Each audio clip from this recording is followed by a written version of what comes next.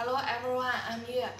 Uh, in our videos before, we have introduced the, uh, the packing tape, PVC tape, and masking tape, and some other tapes. Uh, and we have uh, explained how the, uh, these tapes are making and uh, the production process.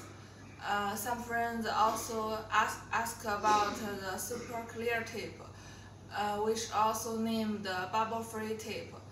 Uh, uh, uh, you can know this tape with its name.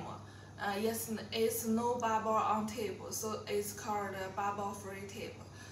for this kind of tape, uh, the machine must be equipped with two pressure rollers uh, to press the air, so it's no bubble on tape. The two rollers must be firmly attached on tape, uh, so, so it can press the air out and the tip will look more clearly and more transparent.